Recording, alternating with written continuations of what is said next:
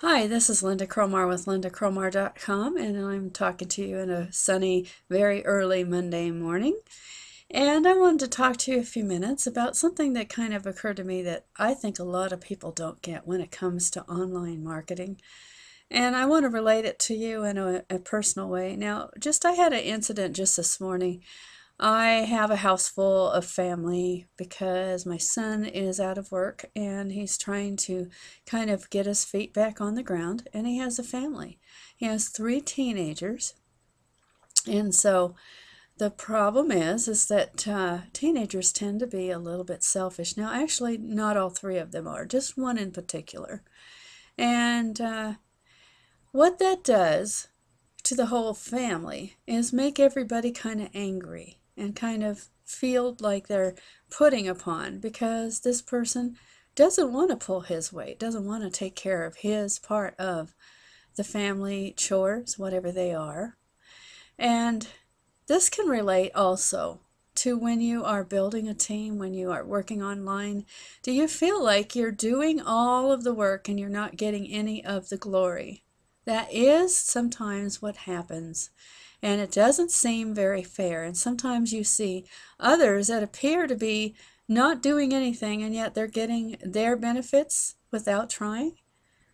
Well, it's not really that way actually in the internet. What happens usually is those people that appear to not be doing anything have already laid a really strong uh, groundwork underneath their marketing and they have already done a lot of the things that you now have to do. Maybe you have to work a little harder and feel like you're giving more than you're getting at the beginning. But it starts to turn around at some point, and it's I can promise you it does because I've been there. I've been there in that place where I felt like I was giving everything and not getting anything back. You know, I've been working on my mother's journal and uh, reading a lot of her entries, I see a lot of this selfishness in there.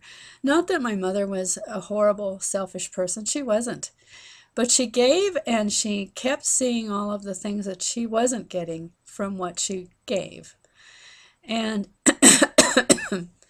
in our own lives or in our internet, we want to make sure that we realize that in the beginning we probably will give a lot more than we get back. We will probably work a lot harder and see a lot less reward. But if you are willing to take the time to lay that groundwork, then there is going to come a time when it'll appear that you're not working at all, and yet you will achieve some results. Does that mean that you'll stop working? Probably not. But it probably will mean that you'll have less effort that you have to put out on a regular basis.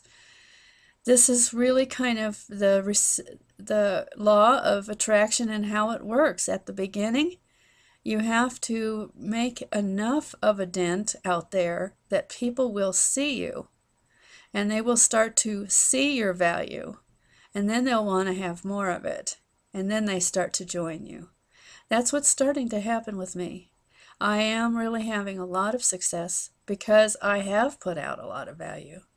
And a lot of people are joining me simply because of what they have seen from the things I share for free. Now, does that mean everything I give to them is free? No. I definitely do not do that. And, and matter of fact, I have a message at the end of this that will confirm that. But in the meantime, don't be discouraged because you feel like you're giving and not getting. On the other hand, there is a time when it is perfectly okay to ask for the sale, and it's perfectly okay to expect to be paid for what you earn. Like, for instance, I went to church and I got in a conversation with a lady that um, she I have a lot of expertise with creating, helping people with their pictures and uh, with their pictures and with their uh, uh, family history and scanning them. I did that for my mother. I've got all of that done. So I was telling her a little bit about what I was doing for her, and she asked me if I would like to do that for her. Well, the thing is, is that I don't do it for free. And I had no problems telling her that it would cost her $20 an hour. Very likely she won't accept that bill because she thinks it should probably be $5 an hour or something. Well, I just, my time is just too much, too valuable to do that. I can't spend that kind of time for nothing.